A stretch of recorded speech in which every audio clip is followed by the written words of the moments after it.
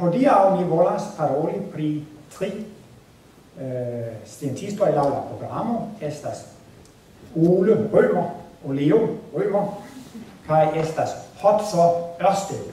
Eh, Hotso en dana lingvo signifas Hans Christian. Ankaŭ Hotso Andersen nomiĝas Hans Christian Andersen. Kaj eh, tria estas la moderna atomfizikisto Niels Bohr Tamen eble mi volas komenci per ne annoncita dana scientisto. Temas pri Tycho Brahe. Tycho Brahe fondis la modernan astronomion.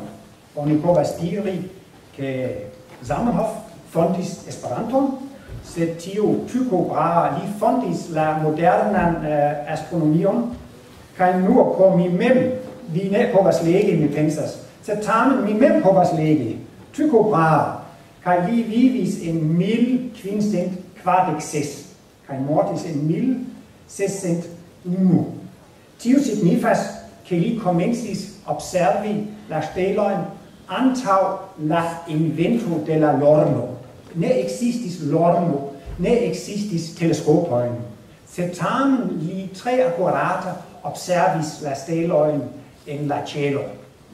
Lia bonas cias che tag mese. La suno estas en la fulmino estas plej alta en la cielo je la dekdua horo tag mese ĉu kai do li havis celilo via povas imagi se oni havas du ŝnurojn oni povas celi kai tiu celilo havis la direkton eh, je la sudo Kai do estis alia celilo, do li povas vidi, estas nulo grado estas fade quin grado estas naudec grado do li povas celi. Mi eh, tusis la mikrofono, bonvolu tion ne pli fari. Sed eh, do li, li observis, kai jaron post jaro, jaron post jaron li observis, kai li faris eh, amasan da observon pri la sed um, li ne faritis tion conata pro tiu grandega laboro. Mi pensas che li faritos plei fama pro libro pri Stella Nova, Nova Stelo, char en la jaro 1572 li vidis novan stelon, char normale, ciam oni observas la cielon, ciam estas la samai steloi, ciu ne? sed uno tagon, uno belan tagon, en 1572 li vidis, estas nova stelo en la, en, en, en la Cassiopeia, kai di ankau do, do li, li sciis, ke ankau li devus um, vidi din dum tage, kai fakte ankau kiam la suno brilis dum tage, li capablis vidi ti tion novan stelon. Kai tio du estas hodia oni bone comprenas, ke estas supernova, kiu explodis, kai ti estis tiom forta, ke ti lumis dum tage, kai oni daura povas observi tion stelon, sed post la explodo estis granda nubo, kai ci tiu nubo nun estas dudek mil lum jaroin sed estas tio mal ofta che homoi capablas observi exploron de supernova. Do li estis eh, tre bonchanza, kai eble li estas pli conata por, por tio. Kai li observis, kai observis, kai li concludis che la suno circa iras la terra Li certas che la terra ne circa iras la suno. Kai li diris, se estas tie, do la stelo devas iom movigi, cia se la tero circauiras la suno, do la tero ja estas in diversai posizioi relata alla stelo, cae tion mi pensis, tion mi povas observi. Sed per siai instrumentoi li nur povas misuri distanzon de quarono lumiaro. Li diris eble la tero circauiras la suno sed do la stelo devas esti tre tre forai kai oni tute ne povas imagi ke la stelo estis tiom forai sed ili estas vera tre forai la plej sum systemo, la plej proxima stelo al nia tero estas kva lu jaro do la uno vi punto li pravis. Li li ne povis observi alian. Sed poste Galileo inventis la lornon kai oni povas pli precise mesuri.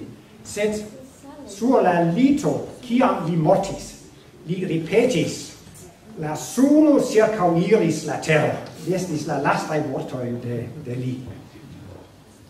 Sed poste venis mia noma frato Ole Ole Rømer li uh, patro logis surdana in sulo Rømø Rømø kai poste la pato prenis la nomon de la insulo kai pro tio li nomigas Ole Römer.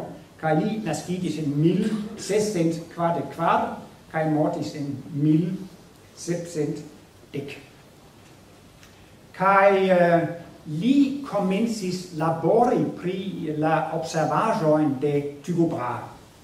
Kai uni volas eh, uh, publicigi ciuin observajoin in, en, øh, in, in libro formo. Mi pensas che fin fine estis du dec du volumoi de observatore de, de Tycho Brahe. Kai li multe laboris pri tiu afero. Sed uh, do estas grava afero. Kie li faris sian observoin. Se fransai astronomer povas usi la observoin de Tycho Brahe, oni devas si kie eh, uh, lokitis la observatorio. Kai um, kai do uh, oni trovis la observatorion sur insulo V kiu situas en Øresund mese inter Svedio kai Danio. Kai do oni trovis la justan lokon. Kai do li komencis kunlabori kun francaj astronomoj. Mi eh, facte visitis Francion dum novembra monato last jara kai mi comportis tri affichon alla Esperanto Clubo in Pariso kai mi uno foion varbis por la congreso citi kai la resulto estas che la Francoi occupas la unuan rangon lau partoprenantoi. Do mi tre gioias pro mia effica visito in Pariso sed en la biblioteco mi legis pri la meridiano kiu pasis tra Pariso. Via ciu scias hodiau la nula meridiano ehm, trapasas Greenwich Greenwich in Londono ĉu ne? Sed kiam Francio estis grandpotenco la nula meridiano iris tra, tra Pariso. Poste la Angloi faridis grand potenso cae do la nulla meridiano iris tra Londono. Sed en Pariso mi lotias tre proxima alla Giardeno de luxembourg Jardin de luxembourg cae estas bela parco, estas tre simetria, kai estas horlogio, en la castello de Luxemburg nun ancau estas uh, sideo por la franca senato, la franca politikistoi den contigias. kai du estas simetria linio eh, gis la observatorio de Pariso. kai du mi diras, mi volas stari sur la antaua nula meridiano. kai mi iris en la parco kai mi staris sur la linio Kai tui comensis la sonorilo sonori, estis la dec unua horo, au deca horo, poni estis miraclo. mi metis la piedon sur la mediano, kai la, kai la sonorilo sonoris, mirinda afero. Certilo estis cascita in la tevo Yes, povas esti. Sed do, eh, oni volis collabori con la astronomo in Pariso, kai do oni devas scii la longitudo, do la longitudo de Pariso estas nulo. se do oni devas si la longitudo de la observatorio de Tycho Brahe sur la insulo V. kai pro tio oni same samtempe observis eh, in Pariso kai in, in, in Danio. kai oni studis la lunoin de Jupitero. Hodia oni scias ke estas mi pensas kvindek tri au sesdek tri lunoj kiuj iras Jupiteron. Sed estas qua tre grandaj lunoj eh, kiuj iras Jupiteron. Laŭ grandezzo, nia luno, la luno de la Terra, occupas la quinan rangon laŭ grandezzo. Sed la tri eh, lunoi de Jupitero occupas eh, tri locoin inter la qua unuae. La plei granda luno en nia sun sistemo estas Ganymedo, kai dua estas de Saturno, estas Titano, kai do venas um, Callisto, kai Io, kai Europo.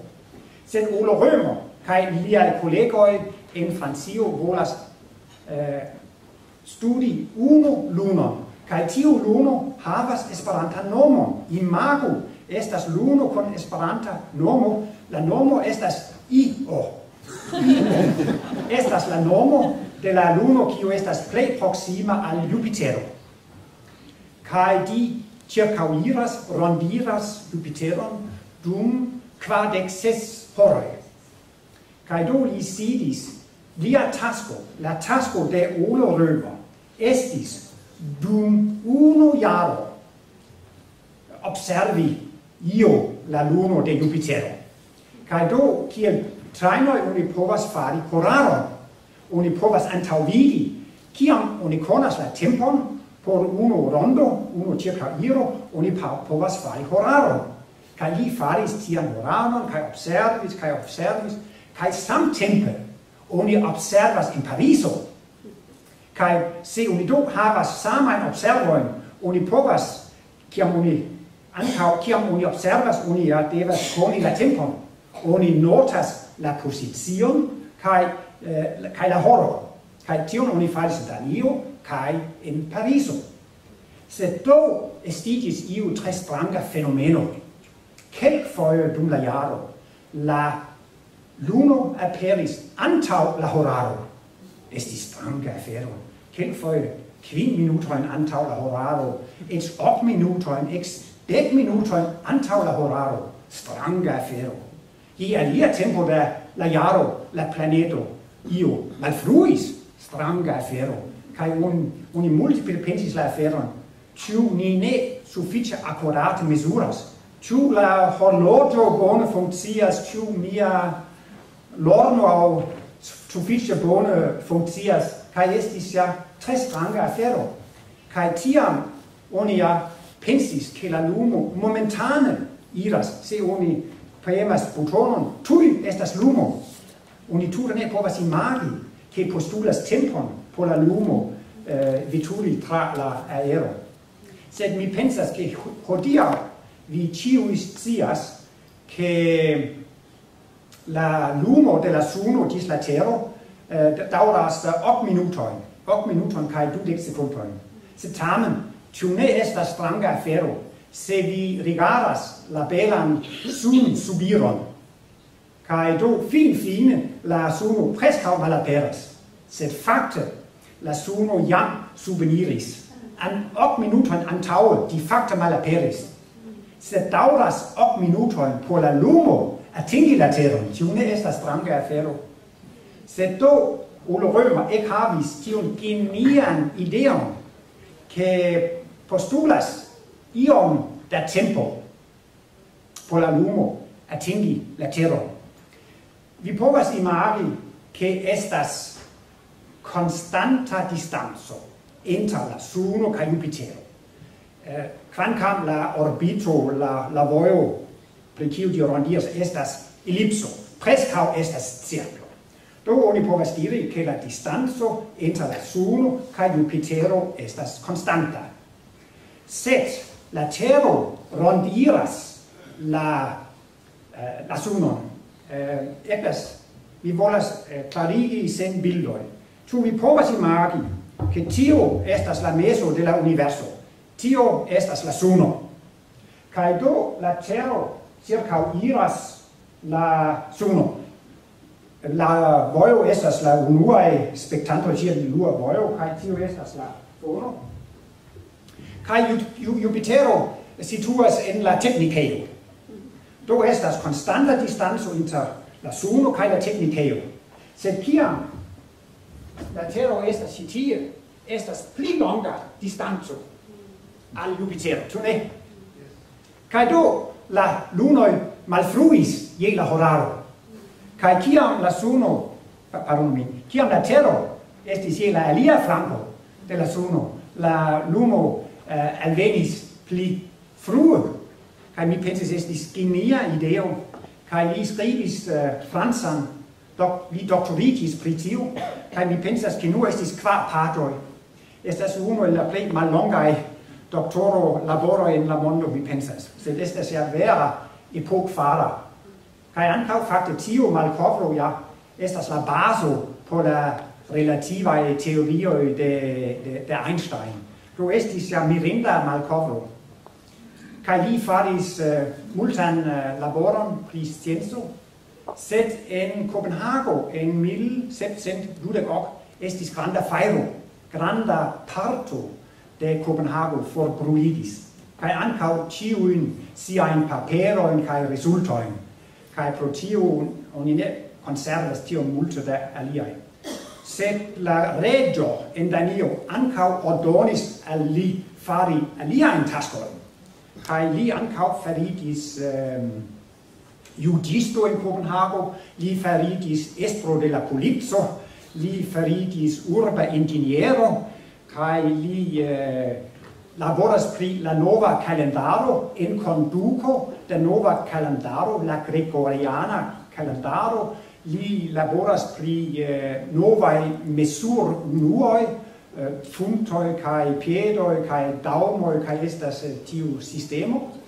Sed eh, li estas pli konata pro la malkovro de la rapideco de la lumo kai mi mi forgesis diri che Tycho Brahe li ne nur estis astronomo li ankaŭ estis astrologo kai li pensis estas kelkaj tagoj dum la jaro kiuj estas tre malbon chansai. kai mi regardas mi esperas ke ne mia naskiĝtago estas malbona tago mia naskiĝtago estas la kvina de marto sed la kvara de marto estas tago de Tycho Brahe. Kai li kiel astrologo opinias ke en ĉi tiu tago oni estas tre malbonŝanca. Kai dum la jaro estis dudek malbonaj tagoj. Kaj in Danio oni ofte diras se oni havas malsukceson, se oni fiaskas. Ah, hodiaŭ estas Tycho Brahe tago. Sed uh, nun mi volas iom paroli pri ho, So Ørsted estas Hans Christian Ørsted. Kai li naskigis in 1777 kai mortis in 1851. Kai li naskigis in Dana insulo, Langeland, longa insulo, Ĉe Yorko, ankaŭ estas Long Island, longa insulo, sed ankaŭ Danio havas longa insulo, kaj li in en ĉefurbo Rudkøbing sed kiam li estis dexes jara, li veturis al Copenhago por studi, cae li tre interesidis ki pri chemio kai fisico. Sed in la jaro 1993 ne eblis studi chemion au fisicon ce la universitato. Estis ja in la infanezzo de la chemio kai fisico sed li povas studi farmaceutico, la, tie la farmaceutico facultato. Li studis eh, pri la curaziloin, ca ili ancau, uh, eh, la farmaceutoi, ja ancau multe laboras pri chemio. Cae do li diplomigis, cae li ne nuo estis bona chemiisto cae fisicisto, li ancau tre interesigis pri filosofio, ancau pri natur filosofio kai li tre amis la germanain filosofon, naturfilosofon. Estas ankaŭ romantikaj eh, naturfilosofoj. Kai um, estas uh, li studis uh, Fichte kai Friedrich Schelling kai aliaj germanaj naturfilosofoj. Kai ili pensis che la tuta universo estas organismo. La tuta universo estas vivulo la universo estas viva estajo kai hotro Ørsted ali eh, tre placis titio ideo. Se tamen li ancau estis sciencisto li eh, estis tre influata per la germana filosofo Immanuel Kant. Lia estas plej fama por la eldiro la das Ding an sich und das Ding für mich. La afero en si mem kai la afero por mi. Kai mi volas reveni al tiu temo eh, poste en la prelego.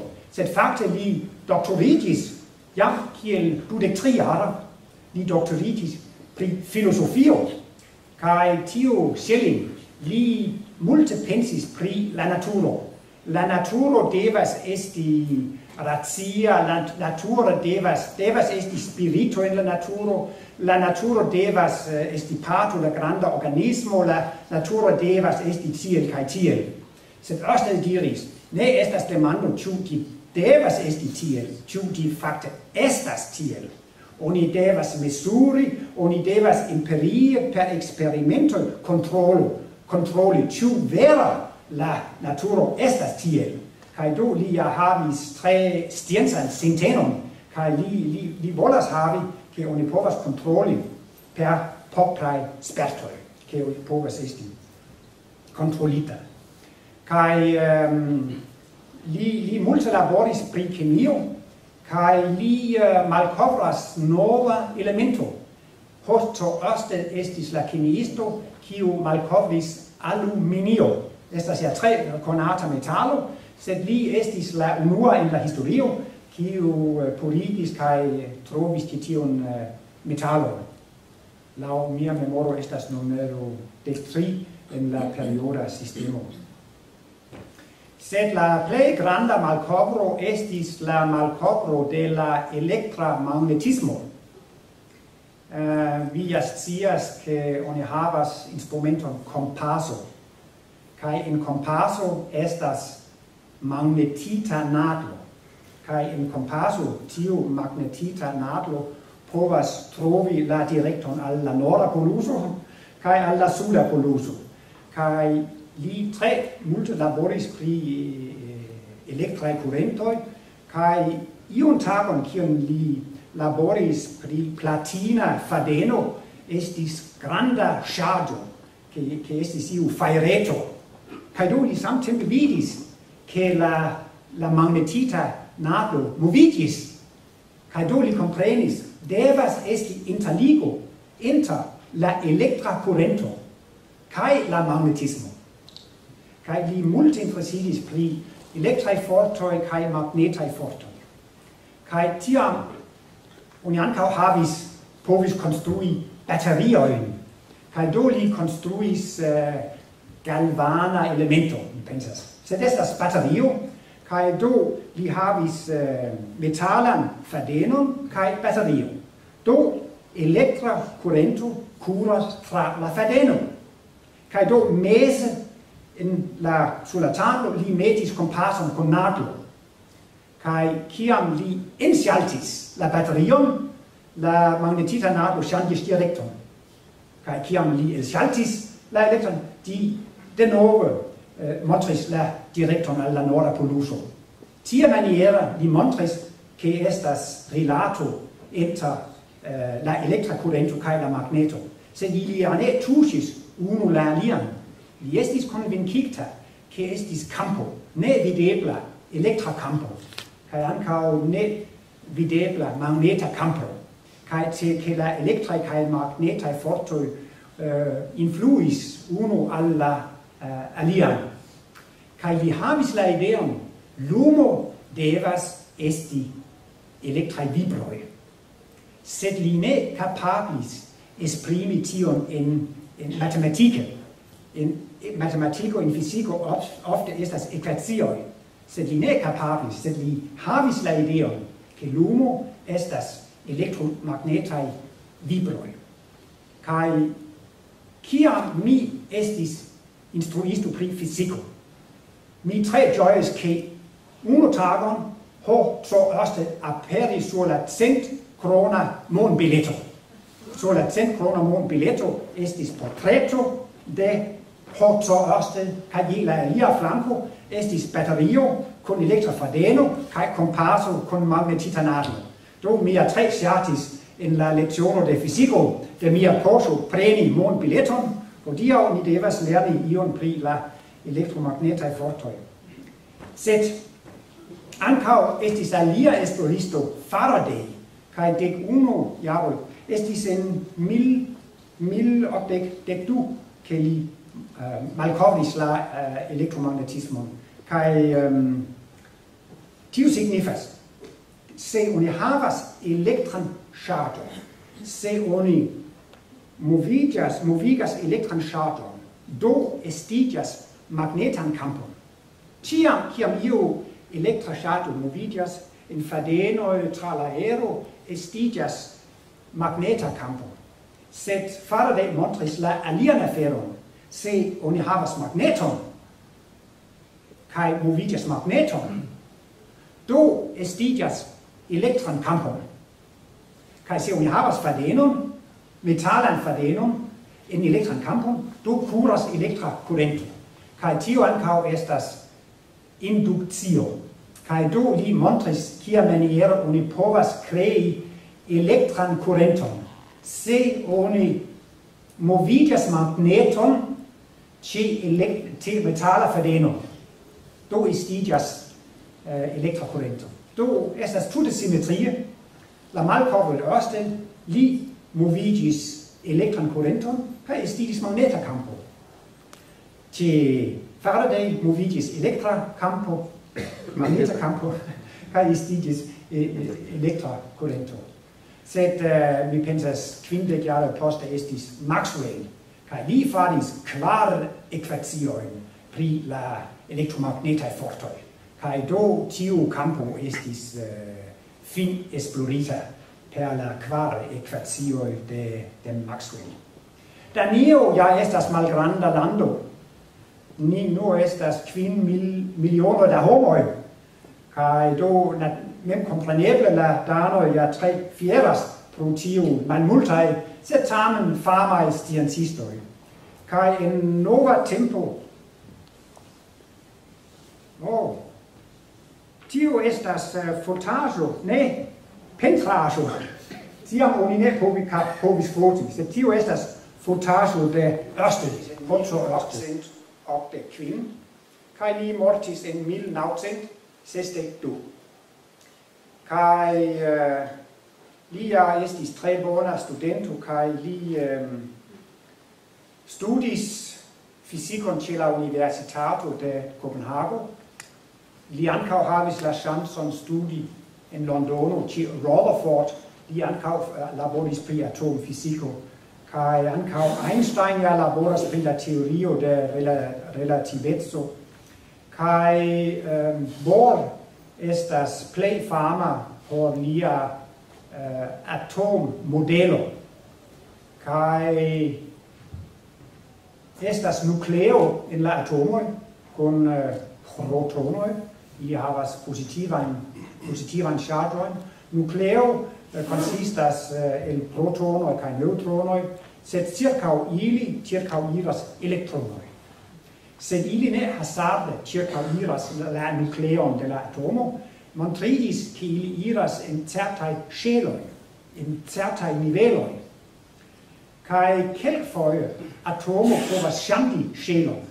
Se oni havas atomojn cae do oni inkondukas pli da energio. Eble oni varmigas, lumigas, ion fari kiu conducas energion al la atomoi.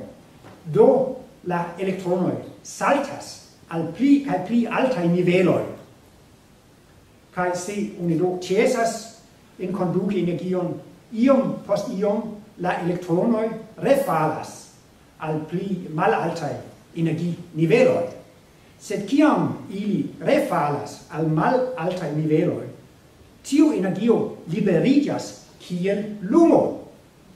Kai do tiu atomoi havas specifan energiniveloin, kai pro tiu ili ancao povas elsendi specifan lumon. Por mi esas mirinda afero, de kia oni povas cii, kiai elementoi estas sur la suno, oni povas vidi, ah, estas hidrogeno, en la suno estas heliumo sur la suno estas diversa alia elemento de kio oni povas tion si tion oni povas vidi per la lumo. Kaj tia est por tiu atomo estas tre specifa lumo. Kaj dank al spektroskopio oni povas vidi kiaj substancoj troviĝas sur la suno. Kaj et oni povas observi tiuin steloin en la en la universo. Kaj do oni povas do la lumo trapassas spektroskopon, kai dank al la lumo oni povas diri kiuj substansoi trovidias sur forai steloi.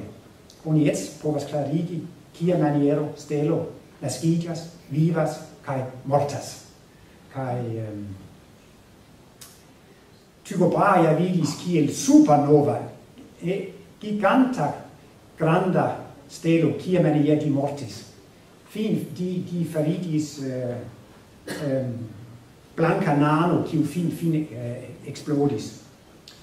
Do nel spor havis eh, equation vi povas diri che la ena, la differenzo in la energinovelo correspondas alla frequenza della lumo. Se estas granda differenzo in energia do estas pli granda frequenza pli granda vibroi povas esti videbla lumo, sed ankaŭ povas esti ruĝa, infraruĝa, ne videbla lumo, sed ankaŭ povas esti ultravioleta uh, eh, lumo, kion vi ne povas vidi per la uh, okuloj. Kaj tio do estis la bazo de la quantum fiziko. Tia, kiam elektrono saltas de uno energinivelo al alia, di elsendas quantum de lumo. Kai estas eh, plej malgranda quantum. Kai tio estas unu quantum. Kai eh, pro tio oni eh, multe parolis pri la quantum fisico. Eh, kai eh, do oni ankau eh, faris novan mo eh, atommodelon, tia kelkfoje eh, eh partiklo quanto de lumo eh, agis condutis kiel di estis partiklo. Kel foi di condutis kiel ondo via sias scias ke oni povas per de aquo eh, fari eksperimenton per ondo kai do oni povas vidi ondo condutas tiel kai tiel.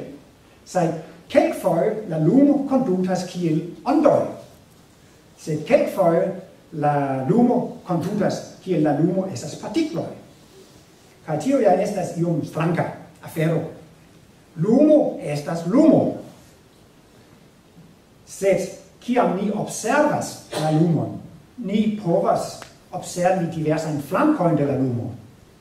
Kelk foie lumo aspectas kiel partikloi, kelk foie lumo aspectas kiel ondoi. Vera estas stranka afero. Sed eble estas kiel Kant diris. Das Ding an sich und das Ding für mich estas la lumo estas lumo lumo en si mem estas lumo. Sed kia maniera mi observas la lumon? Kia maniera mi povas observi la lumon? Tio estas alia afero. Kaj do fakte mi pensas ke oni ne konas la veran naturon de la lumo. Tia kaj do parolis pri principo de complementaritato kaj do oni atingas al la punto oni neniam scias kiam elektrono saltas de unu nivelo aŭ al alia. Antaŭe oni ne povas antaŭvidi ĉu tio aŭ tio elektrono saltas. Kaj oni ne povas diri ĉu la elektrono tie aŭ tie situas. Do oni komencis paroli pri nubo da elektronoj, ke la elektronoj tiom rapide moviĝis, ke ne estis partiklo, sed estas nubo de elektronoj. Kaj kie estas la elektronoj? Ni ne scias, sed estas iu probableco, ke ĝi estas. Kun sepdek procent el cent probableco, ĝi estas tie, sed ĝi ankaŭ povas esti en alia loko. Kaj Niels Bohr ja ankaŭ multe diskutis kun Einstein. Sed generale Niels Bohr okupitis pri problemo en mikrokosmo malgrandai aferoi en la mondo de atomo kai elektronoi. kai Einstein laboris pri la universo. Kai li havis eh, tiun du uh, teoriojn la generala kai specifa teorio de relativezzo. Kai por pravigi ti tiun teorion necessas che oni observas la la, universo. Kai Niels Bohr kai uh, eh, Niels, Niels Bohr kai Einstein multe diskutis kai ili ili ne ilia opinio ne eh, congruis ehm shainas hodia che pli au mal pli che nel spor pravis en multe della discutoi cia bo tia insistis oni devas mesuri la aferoin, oni devas uh, observi la aferoin. Kai con la vortoi de, de kent li fakte tia insistis pri das Ding für mich la la afero por mi. Kia maniera mi povas observi la aferon? Tio estis la plej grava por Bohr sed Einstein havis grandan intuicion kai li pensas eble estas iu abstrakta realeco. Eble li, li, li pensis che ne estas hazardai movigioi, cia in la quantfisico estas multe da hazardai eventoi, estas tuta hazarde kiam elektrono saltas estas tuta hazarde kie di trovigas estas probableco Einstein pensis estas leĝo pri causo kaj efiko. Oni devas antaŭvidi de se di se estas specifa causo do ankaŭ estas specifa efiko. Do oni devas antaŭvidi ne estas bona klarigo. Kial di estas tie? Dank al hazardo ehm laudira eh, Einstein diris che Dio ne ludas per G cuboi. Vi stias cuboi consist kai 1 2 3 4 6 kai oni shetas oni ludas per cuboi. Kai do estas ja hazarde. Tiu estas unu au kvin au tri kai de nove oni shetas la cuboi. Estas hazarde. Oni ne povas scii la rezulton, estas hazarde. Sed Einstein opinis ne, Dio ne ludas per shet cuboi. Kai li li insistis la natur legioi ili estas constante la natur legioi ne povas varii. La natur legioi ne povas dependi de la observanto. Sed bor pli kaj pli volis ke oni devas konfirmi per observado.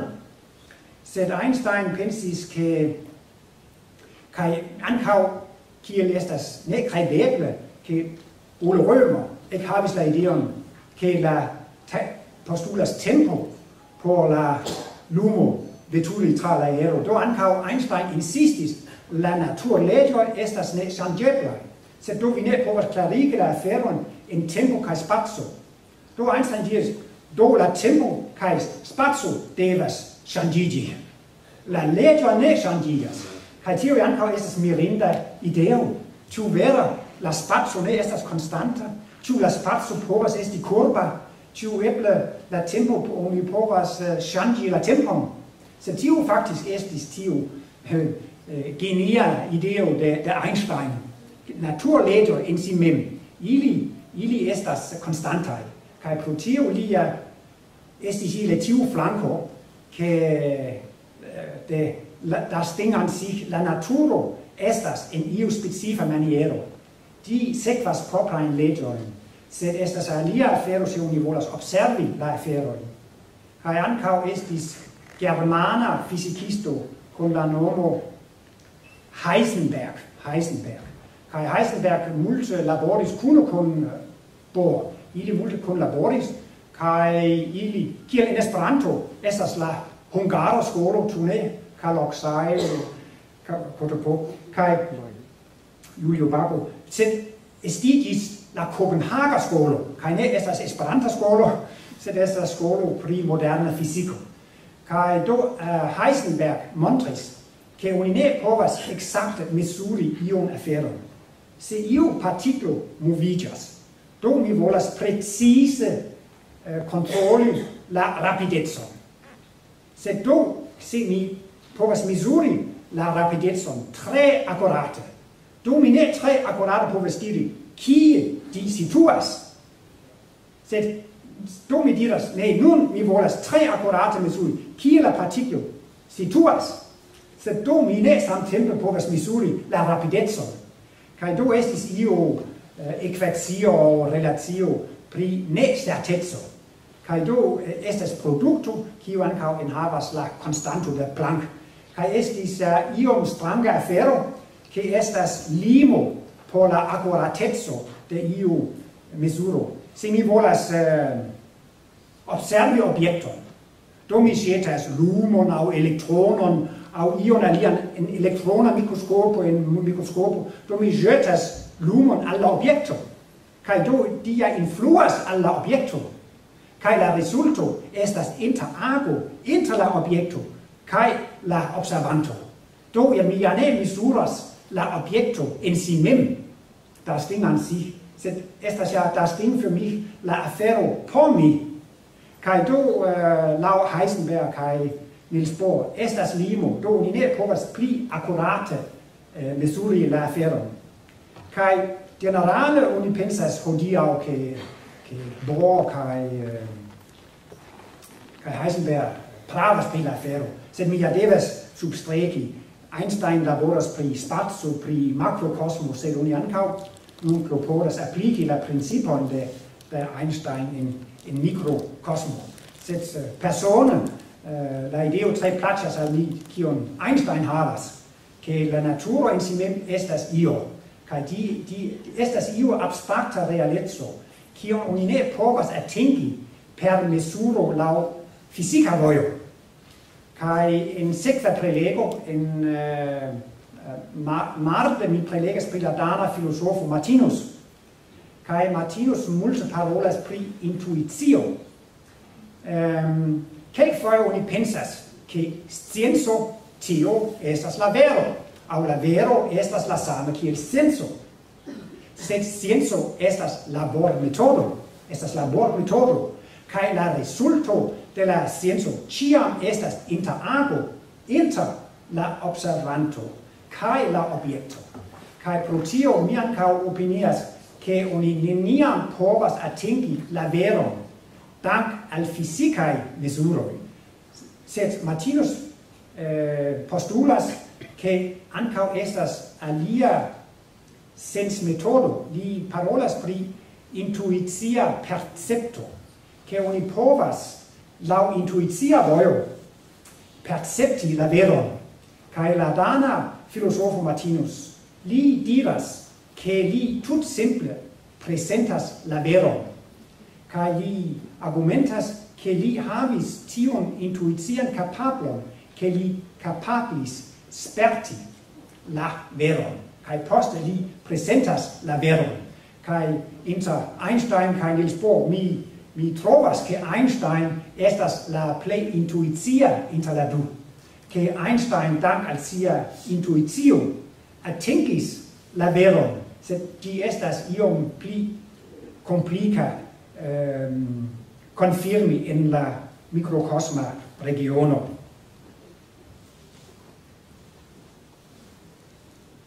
Nun mi estas sufficie contenta pri mi mem. Eh,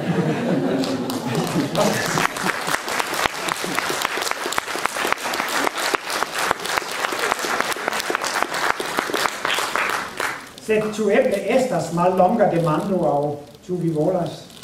En la unua rango estas tu demando. Yes. Yes, uh, eh, mi volas demandi uh, pri eh, uh, Teho Brahe, uh, lia observatorio kai uh, la insulo Ven estas uh, atingebla uh, estas uh, proxima al Kopenhago estas temas pri la observatorio de Tycho Brahe. La nomo de la observatorio estas Uranienburg. Kai li demandas ĉu tiu insulo V estas atingebla de Kopenhago. Eh, uh, lau mi visitis la insulon antau dudek jaroj, kaj tiu estis de ferboato de nivo au eh, estas iu urbo inter Kopenhago kaj Elsinore tie estas malgranda fervoato al vi, sed mi, mi, mi ne estas gis datigita. Eble estas fervoato de Copenhago, sed mi pensas che oni devas iom pli... tu iu stias... De Copenhago. Oni povas. Ok, nun eh, mi audas che facta estas malgranda fervoato de Copenhago al insulo V. Kai oni povas visiti tion museon, tion observeon, kiu nomigas Uranienbock mi dankas pro la helpo. Nein, es estas due. Okay, an, ne longa libro assertis che Johannes Kepler mortigis uh, Tycho Brahe, ĉu vi havas opinion pri tio? Eh, oni diras, laudira, che Kepler mortigis uh, Tycho Brahe. Mi, mi volas diri che Kepler usis la observajoin de Tycho Brahe kai Kepler estidis tri legioi pri movigio de la planetoi circa la suno kai la movigio de la planetoi circa la, la luno circa kai do li usis la resultoi de Tycho Brahe kai antau qua monatoin oni examenis la cadavron de Tycho Brahe por trovi la causum de la morto. Kai fakte eh, Tycho Brahe je la fino de sia vivo laboris in Prago. Kai li estis in, ne interigita. Li estas in cerco, kiu staras in pregeo tein, tein in Prago. Kai dum dec jaroi oni negozis con la catolica pregeo. Ciu ni raitas esplori la cadavron de Tycho Brahe. Kai fin fine ili interconsentis che dum semaino in Prago. Ili raitis eh, mal, eh, malfermi la queston preni provoin kai exameni la, la resultoin kai laudira uni volis ci la causo de morto de Tycho Brahe. Eh, li ancau batalis in duelo kai uni malfelicia uni fortransis la la la la nason de li. Do hi portis argentan nason. Kai eble vi antaŭa esploro ankaŭ montris ke estis multe da hidrago tiu fluida metalo en la haro de Delhi, sed tiu tempe preskaŭ estis hidrago en tiuj medicamentoj. Sed eh, mi ancora ne audis la resultojn, sed fakte estas la unuan fojon ke mi audas ke ke um, Kepler eh, mortigis lin tut, tut certe eh, estas dank al Tycho Brahe, che Kepler povis fari sian tri legion. Do Kepler ne besonis fari tio in uh, eh, observation sed normale oni diras che Tycho Brahe estis tie granda festeno, li multe mandis, li multe trinkis, kai do ine povis mal trinki au pisi. Kai oni diras, che lia visico uh, eh, rompigis, kai li mortis pro tio. Sed esas medicinisto kiu diras ne eblas ke la urina visigo povas rompiĝi. Sed kia mi iris en la laneo in Danio la causo de la morto de eh, Tugoba estis rompita urina visigo. Mi dankas pro la kafo.